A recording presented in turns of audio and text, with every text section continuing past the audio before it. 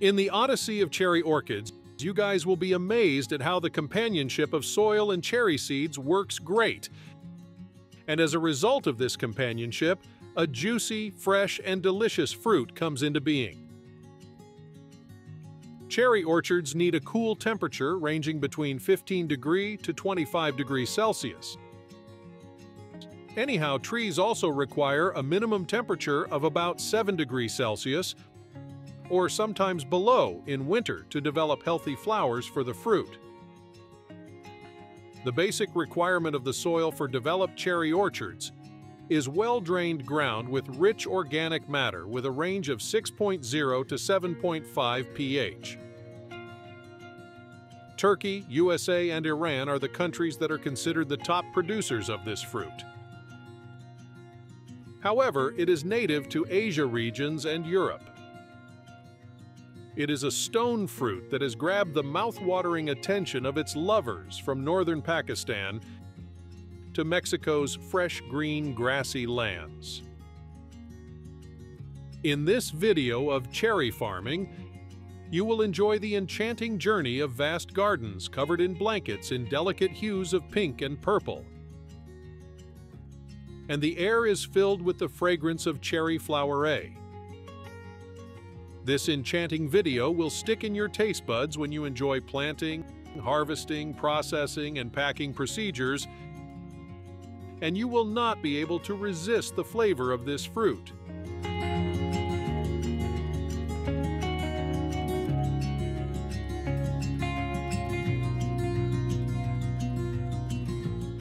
Cherries have many types. Some of them are sweetened and a few are tart. However, it depends on the farmer's choice of what type he chooses. Sweet or sour, red or black, self-pollinated or cross-pollinated. It is a sensible act to choose the right type according to the region, land, climate, and available circumstances.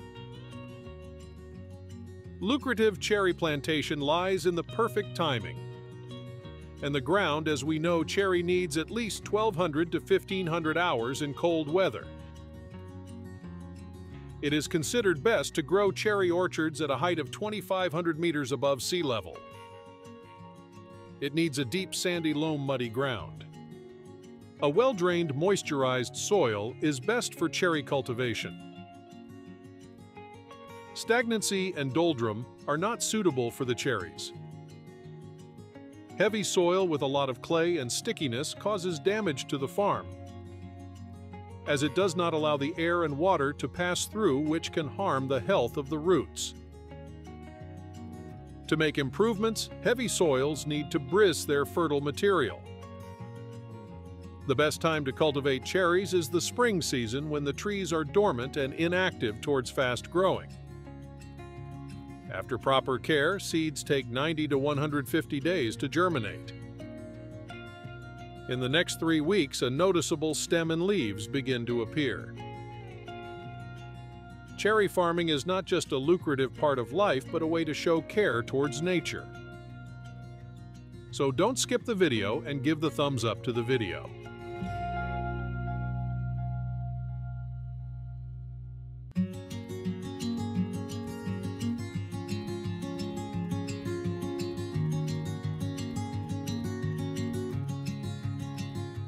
Talking about nature, it comes to mind that cherries orchards are sensitive to pests and diseases. Fly, green peach aphids, and thrips are some of the very common pests that badly affect early cultivation. However, farmers control them by cultivating early varieties such as Bigarreau cherries that are fully grown before flies destroy the whole farm. Moreover, nowadays, many farmers use traditional ways with new technologies. They control such flies and insects by setting a trap known as a pheromone trap. Prepared with sulfate ammonium and flies get distracted from the plant to the trap. When you cultivate a huge farm, the harvesting of the fruit is also close. But what will make you understand that your fruit is all set to harvest? Well, when the cherries are turned fully red, you should understand that your fruit is ready to harvest.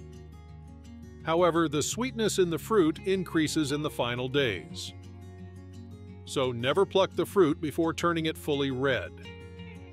Including sugar content increases magnificently, cherries also look fully firmed. Tarted cherries, when they are ripened fully to be harvested, come off the stem while sweet cherries should wait for maturity and firmness. As you know, cherries will not ripe after harvesting them from the trees. So, you laborers, be patient and wait until they fully ripen. Harvest cherries with attached stems. But if you are picking them for cooking, you can pick the only fruit part and leave the stem on the tree. Before harvesting the cherries, the attack of pests or diseases is a causal factor. To avoid them, cover up the bushes with bird netting. Remove overripe cherries and apply horticultural oils on the farms, along with insecticidal soaps if needed. Prepare your own sprays by mixing dish detergent, baking soda, and olive oil in a gallon of water. However, if you are buying ready-made sprays, then please note that always follow the directions that are mentioned above. Keep us updated with your reviews about the video or your favorite part of cherry farming.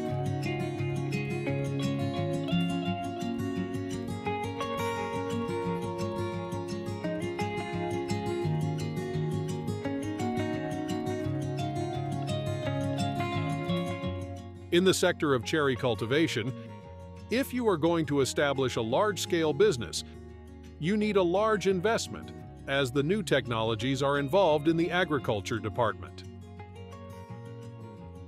These developments, though, play a vital role in the production sectors. However, needs more money to invest in. Furthermore, owners should be aware of the expected dangers, including the problems created by global warming, changes in the consumer's priorities, and energy for yield failure by dint of pests or diseases. Mechanical cherry harvesters decrease the expenses of labor by about 24 cents per pound. Two-unit mechanical harvester moves forward in the orchard and shakes the tree, making it lose the branches. Cherries fall over the catching surface and a roller pushes them to the conveyor belt. These harvesters save almost 80 to 90% cost of harvesting. Oops, sounds like a wow. From this part, they are ready to move to the packaging department.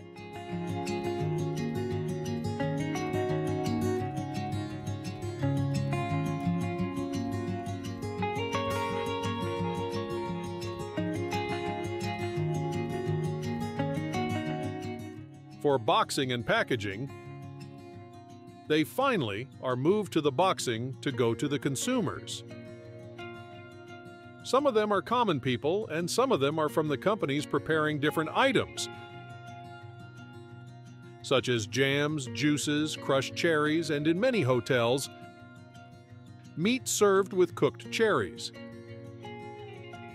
In the boxing sector, they separate the cherries according to their type, size, and use. However, when companies purchase them, they are brought to the factories for further processing. For canned cherries, with the use of cutters, cherries are cut into halves, and their seeds automatically go out of the factory through a conveyor belt. The rest of the fruit goes into cans, here, they process the cans with some specific procedure to keep them long-lasting, fresh aroma and flavor, and then pass them through some cooling temperature. They put the expiry dates on the jars. Some robotic machines put their lids and stamps on. And here, finally, the mouth-watering and fleshy journey of cherry reaches out to an end. Hope you enjoy the whole video. For more farming fun, stay tuned and stay updated. Farewell.